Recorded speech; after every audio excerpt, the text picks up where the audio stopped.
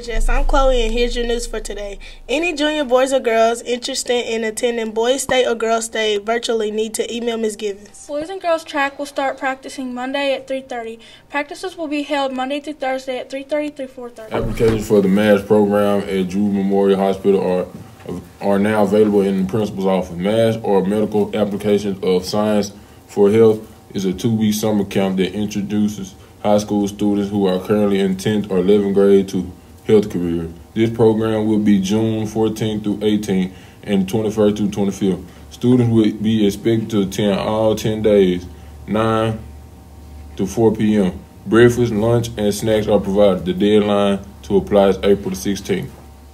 Oh. Today's weather is a high of 63 with a 100% chance of rain and a low of 55. For lunch today, we're having chili cheese dogs, chicken fajitas, classic cheeseburger, chicken Caesar salad wrap, pineapple parfait with granola. Happy birthday to Jamal and Jemiah Brewer. Hey Eric, why did the gym close down? I don't know. Why, Connor? Things just didn't work out.